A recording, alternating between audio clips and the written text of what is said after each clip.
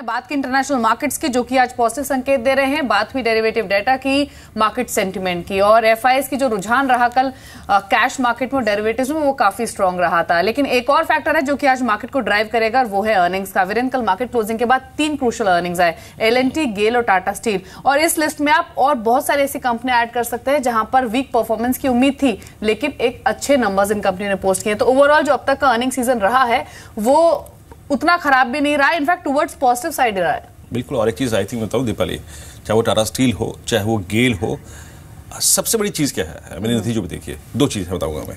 ये तीन stocks index के लिए प्रेशर पॉइंट थे। बिल्कुल। रिलीफ मिला है इंडेक्स को एक। ये प्रेशर पॉइंट बाज़ार के लिए अब नहीं होंगे। और तीसरी चीज़ दूसरी चीज़ माफ़ कीजिएगा इन तीनों नतीजों में क्या खास थी कि ऑपरेशनल फ्रंट पे ऑपरेशनल फ्रंट पे तीनों ही नतीजे अच्छे थे। आइए इस नतीजे को थोड़ा सा और बारीकी से समझते हैं। इनफैक्ट अंचल मेरे साथ न्यूज़ से है भी। अंचल आई थिंक जैसे कि मैं कह रहा हूँ ना कि प्रेशर पॉइंट मार्केट से रिलीज़ हो रहे हैं धीरे धीरे और भगवान करे कल एसबीआई ने कुछ ठीक ठाक कर दिया तो वाकई अच्छा हो जाएगा। लेकिन एलएनटी और टाटा स्टील नतीजों में क्या आपको अच्छा नज़र आया? और देखिए डेफिनेटली जो ऑपरेशनल फ्रंट पे आप वरिंदर जैसे कह रहे थे कि नतीजे अच्छे रहे दोनों के ही अच्छे रहे। लेकिन उसके अलावा भी बहुत सारी बारीकियाँ थी। टाटा स्टील की पहले बात करते क्यू फोर में कंपनी की जो वॉल्यूम्स थी वो करीब तेरह परसेंट बढ़ी।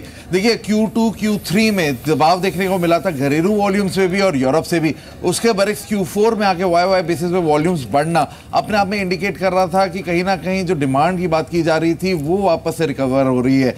साथ ही बेटा पर टन जो एक क्रिटिकल फैक्टर रहता है ऑपरेशनल एफिशिएंसी का वो भी करीब चौदह परसेंट बढ़ा इसके अलावा रियलाइजेशन डेफिनेटली गिरे 16 परसेंट रियलाइजेशन गिरे लेकिन उसका सबसे बड़ा कारण वीरेंद्र था जो यूके कारोबार से प्रेशर आ रहा था। हम्म। वो बुक्स में आ रहा था उसकी वजह से रियलाइजेशन पे प्रेशर आया। अदरवाइज़ घरेलू कारोबार अभी भी टाटा स्टील का काफ़ी साउंड काम कर रहा था। क्यू फोर नंबर घरेलू फ्रंट पे अच्छे रहे हैं। हम्म। उसके साथ साथ अगर देखें तो एक अच्छी बात होती है गाइडेंस नॉर्मली जब भी कंपनी गाइडेंस देती है तो कहीं ना कहीं भरोसा बढ़ता है। और इस बार टाटा स्टील ने साफ़ तौर पर कहा कि एफ़ आई के अंदर जो वॉल्यूम ग्रोथ गाइडेंस दी है हम्म। उनका मानना है कि एफ़ आई ज़्यादा बेटर रहेगा एफ़ आई से। और वॉल्यूम फ्रंट पे डेफिनेटली एक better set of numbers post करती हुई दिखेगी कंपनी एफ़ आई में। तो अपने आप में वो एक पॉजिटिव सेंटिमेंट होता है। लेकिन हाँ निराशा बाज़ार को लगी, वो लगी इस बात पे कि बहुत ज़्यादा सबकी नज़रें थी इस बात पे टिकी हुई कि बिडर्स जो हैं यूके कारोबार के लिए, उनकी अनाउंसमेंट होगी नतीजों के साथ साथ ही।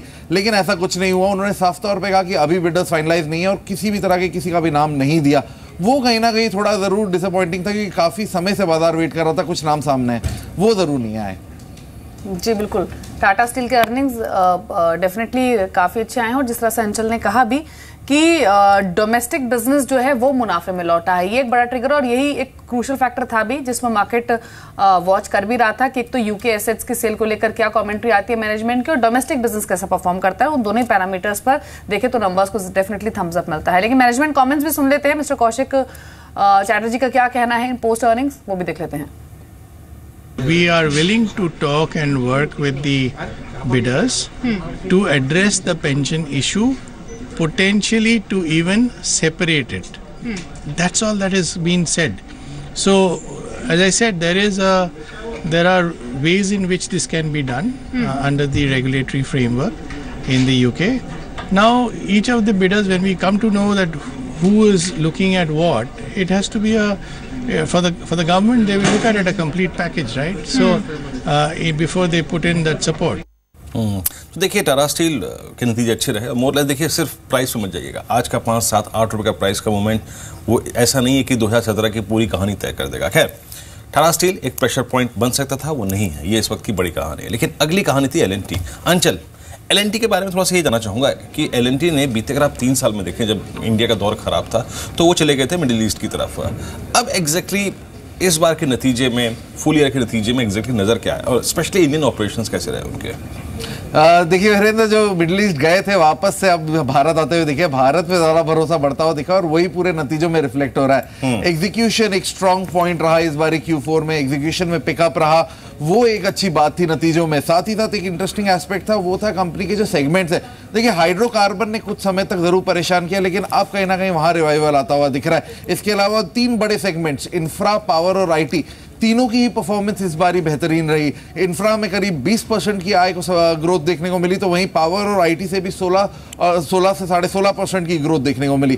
थोड़ी चिंता रही, वो रही मेटल और इलेक्ट्रिक कारोबार में। हाँ वहाँ थोड़ी स्लो डाउन ज़रूर है। लेकिन जैसा कि मैं कह रहा था, वापस भारत आया है तो भारत उसका मतलब ये है कि जो गवर्नमेंट ऑर्डर्स हैं उस पर वापस से फोकस बढ़ा। क्यू में ऑर्डर इन्फ्लो जो था, वो अनुमान से बेहतर रहा। वो अपने आप में एक बड़ा ट्रिगर है, क्योंकि काफ़ी क्वार्टर्स के एक sluggish performance order inflow performance गिर रही थी।